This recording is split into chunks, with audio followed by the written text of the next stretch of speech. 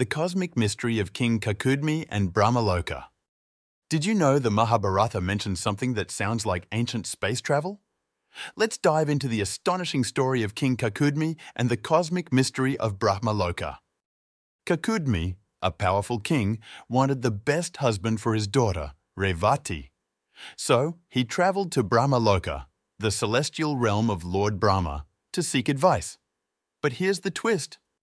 When Kakudmi returned, he realized that time worked differently in Brahmaloka.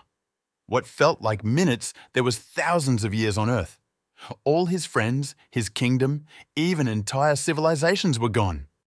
This tale hints at the concept of time dilation, something modern science only discovered through Einstein's theory of relativity. Could ancient India have known about time and space in ways we're just beginning to understand? The Mahabharata holds secrets far ahead of its time. King Kakudmi's journey to Brahmaloka isn't just a story, it's a mystery that continues to amaze us today. What do you think?